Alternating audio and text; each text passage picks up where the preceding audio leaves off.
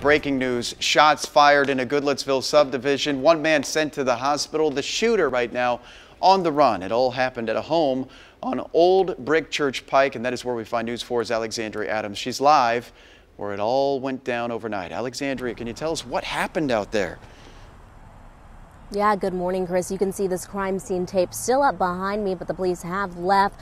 I can tell you that the suspect tried to get away, but it was a failed attempt. They actually stole a truck uh, from the driveway, ended up hitting a tree, not getting too far. And when police arrived on scene, they looked through that vehicle and they actually found several guns, guns inside. You can see footage right now on your screen, all captured by a news photojournalist, Thomas Davis. He was the very first on scene, gathering all of this for you. You can see police combing through the area, looking for evidence as to what led to this violence here in Goodlettsville this morning, taking place in a residential area. Again, we're along Old Brick Church Pike and North Main Street.